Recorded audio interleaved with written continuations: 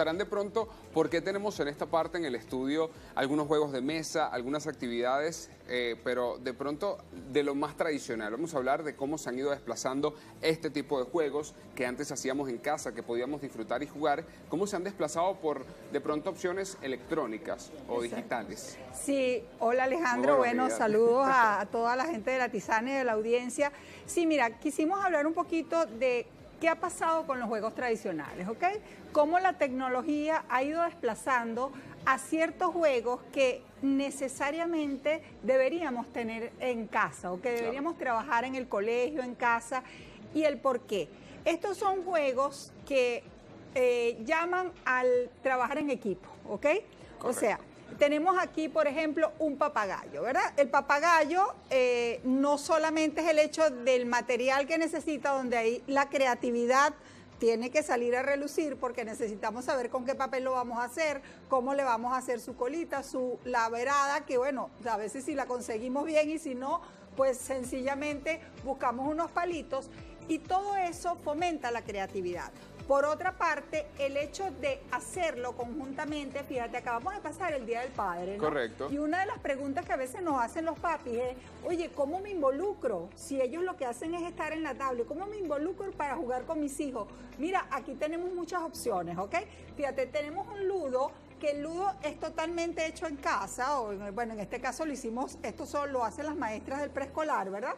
Y que con un cartón y con, unas, eh, con marcador se elabora un ludo y pasamos un rato agradable tanto los adultos como los niños. Interesante. Recuerden que, por ejemplo, en el caso del papagayo, una vez que lo elaboramos, todo esto son actividades manuales y cuando lo volamos, ¿verdad? Tenemos que hacer este movimiento que esto es parte de la motricidad, o sea, el hecho y es de conectarse además con, la vida, con la naturaleza. Y la atención, el hecho de que tú tienes que concentrarte, al igual que en el ludo. Voy un momentico con tu permiso, Alejandro, claro, claro que sí, sí, dale, vamos a Tenemos por acá lo que es un bingo, que es totalmente casero. Fíjense que hasta el dado es hecho con cartón y eh, marcador los cartoncitos son hechos a mano y las los, bueno, a veces utilizábamos caraota, ¿verdad? Pero este es foami, lo colocamos acá y las piecitas con las que cantamos bingo lo tenemos aquí adentro, o sea que no hay excusa, ¿verdad?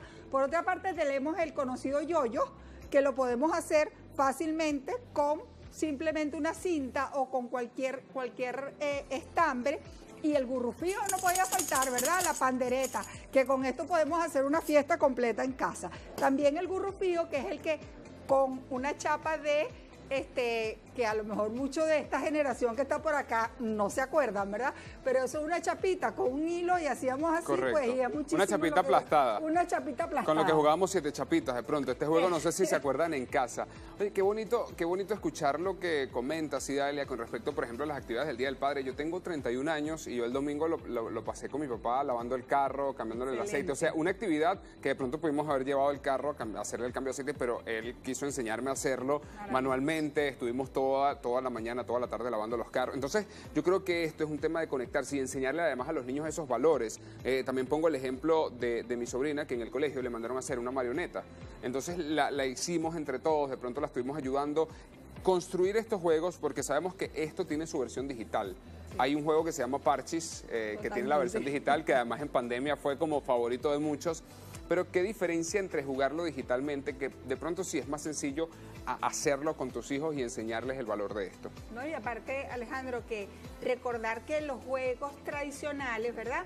Son actividades lúdicas que este, involucran lo que es la costumbre y tradiciones de una región. Correcto. ¿Ok? Entonces, es no rescatar, no perderlo, ¿no? Rescatar esa, esas, mm, esas culturas, esa, eso que viene de generación en generación y no perderlo porque simplemente estamos en, en la tecnología. Y no quiere decir, como siempre lo digo, la tecnología está allí y es excelente, pero lo importante es el uso y no el abuso. Y combinarlo con este tipo de actividades que es trabajo en equipo, que es trabajo manual, que hay una cantidad de, elementos que favorecen el que el niño se salga un poquito de acá y vamos a, traerlo a otro tipo de, eh, entorno para poder lograr una cantidad de destreza que quizá únicamente con la parte tecnológica no la podemos lograr. Claro, esto no tiene nada que ver con lo monetario, es decir, usted puede tener la oportunidad de comprarle una tableta a su hijo y que él descargue el juego. Esto no quiere decir que es que somos, eh, tenemos mejores, eh, menores recursos económicos o no. Esto simplemente, y según entiendo, es la oportunidad de que su hijo sea más creativo y que, y que fomente de pronto desarrollo neuronal en un ámbito completamente diferente. Exactamente, Alejandro, no, esto no tiene nada que ver con lo monetario, sino el hecho de que tú te sientes con tu hijo y que de repente tu hijo te dé idea, bueno, no, no lo vamos a hacer con Foami, lo vamos a hacer con otro material. con el cartón de la, del cereal, por, por supuesto, por supuesto, ¿verdad? Y que no solo eso, sino que fíjate, ahí estamos trabajando los números.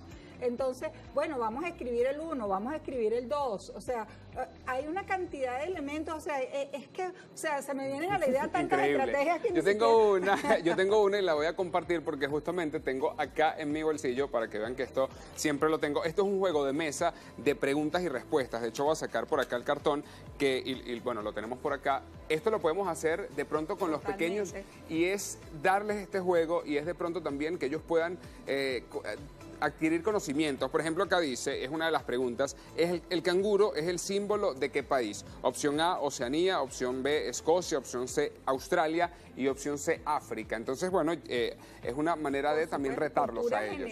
Y, esto se puede hacer con, tablitas de cartón.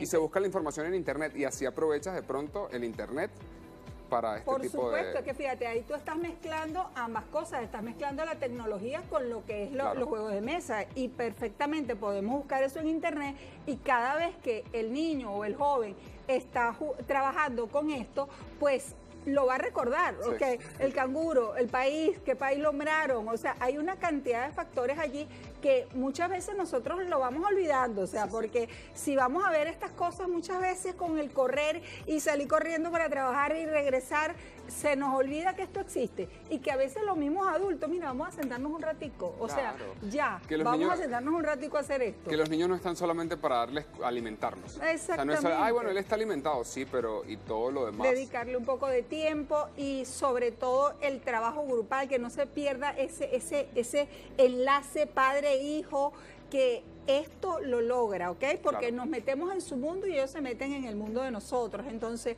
por supuesto, cuando están en la tecnología, ellos están en su mundo solamente.